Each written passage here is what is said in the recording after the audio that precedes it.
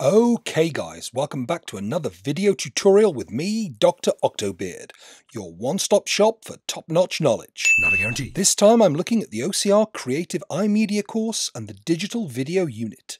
So let's get stuck in. Mom! I am stuck! Like most units on this course, creating a digital video sequence is broken down into four sections or learning outcomes. Theory, planning, making, and evaluation. In this video, I'm going to look at the theory. OCR won't let me do videos on the specific planning, making and evaluation sections of your coursework, and they ain't budging, no matter how much I beg them. You gotta help me out here, please. They're gonna take my dumps. So in this video I will be covering the sectors and uses for digital video, the different file formats, and the properties of digital video. If you want a top grade for sectors, Not a guarantee. the mark scheme says you need to identify a wide range of sectors in which digital video is used, which demonstrates a thorough understanding. So what I'm going to do is go through the different sectors, pull out a couple of different uses for each one, and then evaluate them against each other. So the first sector I'm going to look at is the corporate or business sector. These videos are the least familiar to the general public as they're not intended for mass consumption. They are often aimed at employees or investors in the company. They try to carry the corporate message or values, and there are different types, like this video by Apple. This is an example of an About Us video. It aims to tell new employers or investors what the company believes it is all about. In this case, the colours and clean edges promote a high-end tech company that wants to stand out from the crowd. It is filmed in a studio and there are a lot of visual effects applied after the edit. This sort of corporate video is very different from a product demo, like this one from Microsoft. Product demos often go along with the launch of a new product or line and try to show off what the product can do. Again, they are aimed at people who work in the industry and are as much about showing off as teaching people about your new product. Product demos tend to be filmed at business conferences and to have fewer cuts and less post production. What you're seeing here is what the people at the conference would actually see on the big screen. Another sector that uses digital video is the commercial sector. One example of this is advertising. Of course, a perfume advert is going to look very different from a ketchup advert, and filming them would require quite different planning. But their general aim is the same and they tend to have a familiar look that involves lots of cuts, interesting camera decisions, and creates the sort of narrative, story style that we are familiar with from films. It is very different from something like a public information announcement. If you or anyone in your household has a high temperature, Here the camera is still, and there is no slick editing or big budget, and it feels more like a newscast than an advert. The sector that we are probably the most familiar with is entertainment, which includes television, You've gotta be really, really quiet. music video, So if it went us in hats, then it was Stokey probably and film. When I call you, you must come. But even within the film sector, different sorts of films require different sorts of setups.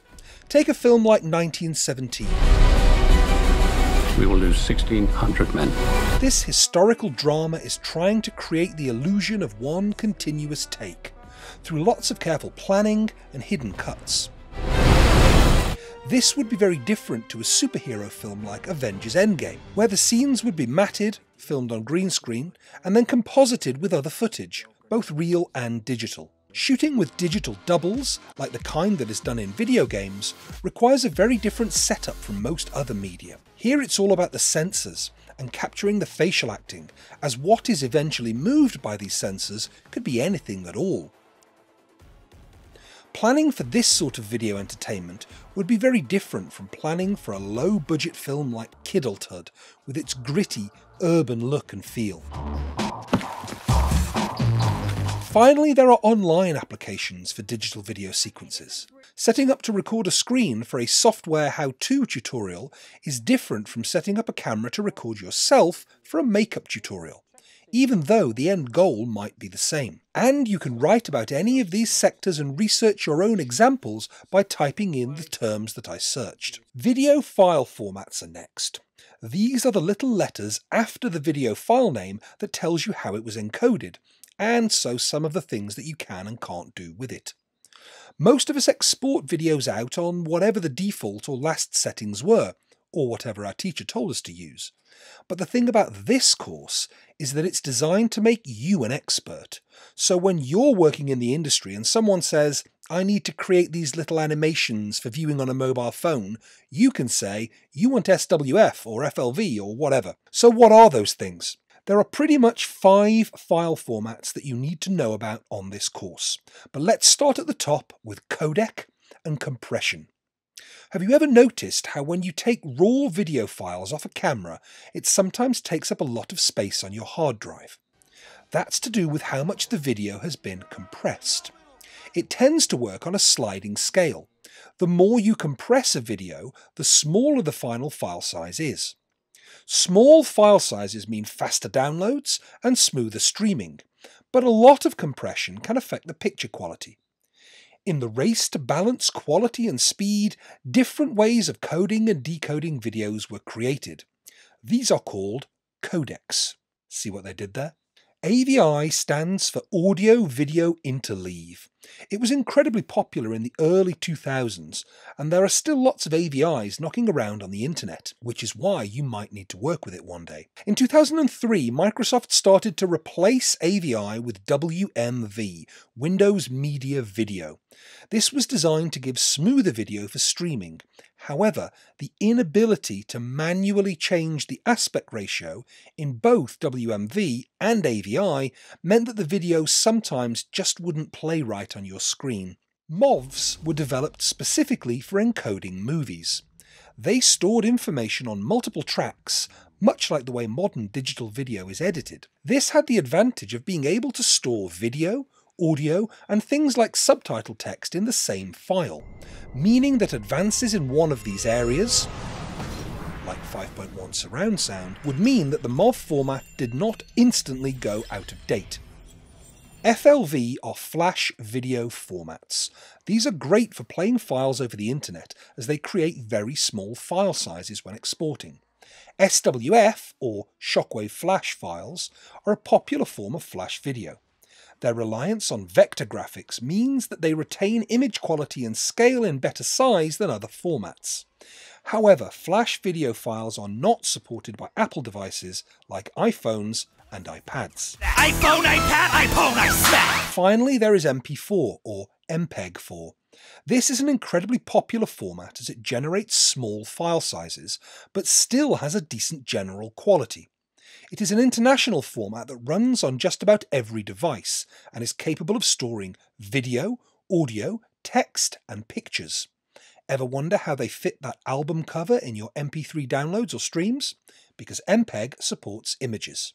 If you want to know more about these file formats, and you absolutely should do this, you can type something like AVI versus MOV into any search browser and find out about the tiny technical details that make these codecs different from one another. Finally, we move on to the properties of digital video. We've already talked a little bit about aspect ratio. It refers to how wide and tall the image is on the screen. Old time TV had an aspect ratio of 4 by 3, which is why you sometimes get the black bars at the side of old TV broadcasts. The human eye works in something close to 16 to 9, which is widescreen. Most modern TV is broadcast in this aspect ratio. More modern issues with aspect ratio can occur when filming with mobile phones. The default is still 16 by 9, but some people film in portrait, meaning the video is 9 by 16. A common way of dealing with this involves placing a blurry background layer behind the main image and expanding it. Knowing what format the video was filmed in is really important when it comes to editing it, as the wrong format can mean that you're either cutting video off at the sides or you're getting black bars. So many black bars. It can also be important to know about different video formats when exporting out. Before we lived in a globalized world, people did things in the way that worked best for them. It's why we drive on the left in some countries and on the right in others. They have roundabouts. Apparently, these are very effective, but you have to know how to use them for them to be effective, and I don't know how to use them. It's the same for TV and video broadcasting. When TV first started getting going, there were two main formats NTSC and PAL. NTSC was adopted by America, Japan, and a few other places. PAL was adopted by Europe and most of Asia Australia. The reasons for the differences go back to the way electricity reaches the homes of people living in those countries. In America, the power runs at 60 Hz. In Europe, it's 50 Hz. Video is made up of a sequence of still images all run together to create the illusion of movement. In America, there are 30 of these images, or frames, in every second. In the UK, it's 25 frames per second. This is exactly half the hertz rate of the electricity reaching the TVs. The frames that make up video are made up of horizontal lines called fields. In any given frame, the image would show either the odd numbered fields or the even numbered fields. There would be hundreds of fields on screen at any one time, and they would be very small, so the human eye would find it very difficult to tell whether the odd or even lines were showing. It would just look like a complete picture, though it might be flickering a bit. PAL actually stands for Phased Alternating Line. Because American TVs used 525 fields displaying 30 still images, or frames per second, and UK TVs used 625 fields displaying 25 frames per second, there was just no way to show US signals on UK TVs. They had to be converted first by a broadcaster like the BBC. Modern high definition or HD screens still use this interlaced system. It's what the I in 1080i stands for. But they also use a progressive system. Instead of only showing half the fields in each frame, progressive scans allow you to show all the fields, which leads to a much sharper picture, though also leads to increased file sizes and requires more bandwidth when being broadcast. All modern HD video is broadcast in 30 frames per second. The quality of the picture is determined by its resolution, or pixel size. As a video is made up of images, the quality of these images will determine the quality of the video. Raster images are made up of pixels, tiny dots of colour that, when you put them all together, make up the picture. The more pixels you have, the sharper the picture. 720 is considered the lowest number of pixels required for HD. 720 means that the image is made up of 720 vertical dots by 1280 horizontal dots. 1080 is 1080 up by 1920 wide.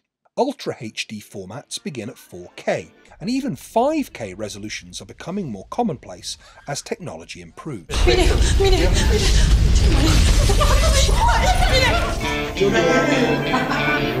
Obviously, not all video is filmed in 5K, but it can be upscaled. However, we've all seen what happens to an image with a small number of pixels when it's blown up bigger than it can handle, which is why knowing what format your final video needs to be in is so important before you begin filming. I hope you've enjoyed this video on creating a digital video sequence. Do please get in touch in the comments section if you have anything you'd like to ask, or if you have an idea for another Dr. Octobeard video. Thanks for watching.